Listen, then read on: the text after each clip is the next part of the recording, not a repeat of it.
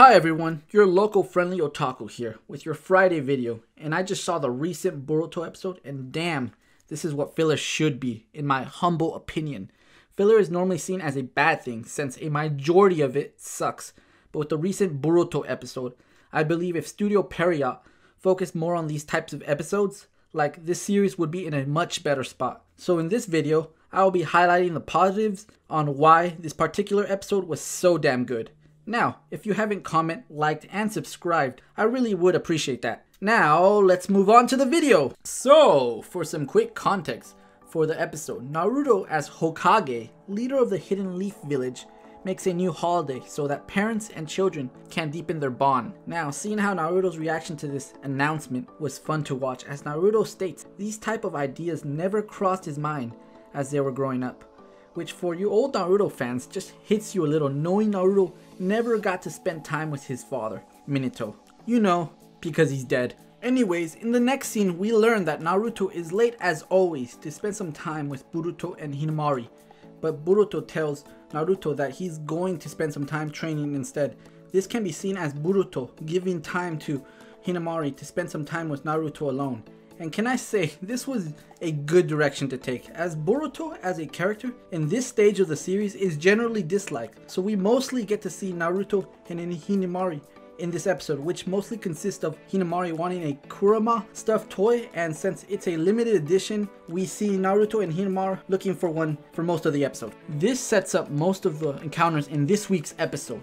Our first encounter is Kiba, and goddamn has his dog seen better days. We also find out that Kiba wants one of the Kar Kurama toys for his uh, new girlfriend. Next, we get to see Ino, which I guess opens a flower shop. I wonder if she's still a ninja or if she's retired. Anywho, our next guy is the bug user himself, Shino.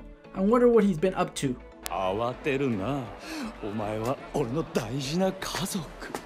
Bro, this scene is kinda sad. Well, guess he's still the weird one.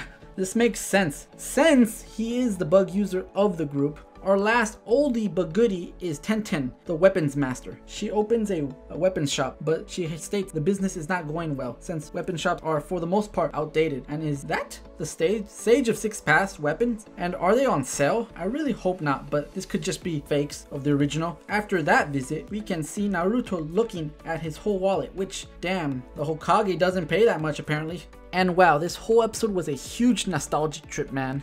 I really had fun seeing Naruto interact with his old buddies again, and to see what some of the more forgotten characters have been up to, I digress. The final few scenes have Kiba lose the doll that he got for Naruto to make Himawari happy, which I find to be a good goal. Naruto of course catches the thief fairly easily, but as a result learns that this ninja was supposed to be on a long distance mission, and that he doesn't get to spend much time with his son. So Naruto reassigns him to guard duty as he doesn't have to spend time away from his family. And to add to this heartwarming scene, Himawari gives the rare Kurama doll to the kid and says she was just happy to spend the day with Naruto. Pause for a second, pause for a second.